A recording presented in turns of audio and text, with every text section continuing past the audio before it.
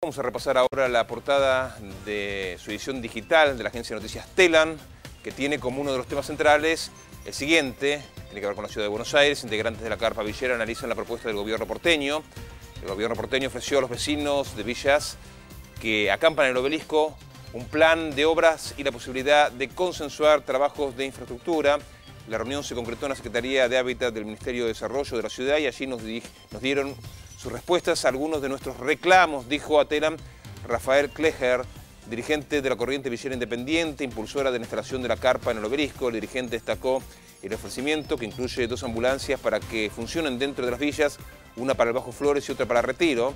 También propone volver a trabajar en las mesas barriales por el derecho al agua potable. Algunos de los temas que eh, se analizaron en esta reunión entre la Corriente Villera y los funcionarios del gobierno de la ciudad de Buenos Aires. 7.24, mucho frío, fresquito, 7.5, pero la, sensación térmica hace que todavía se sienta más, nos dijo Nadia. En instantes volvemos, vamos a hacer una pausa y ya volvemos.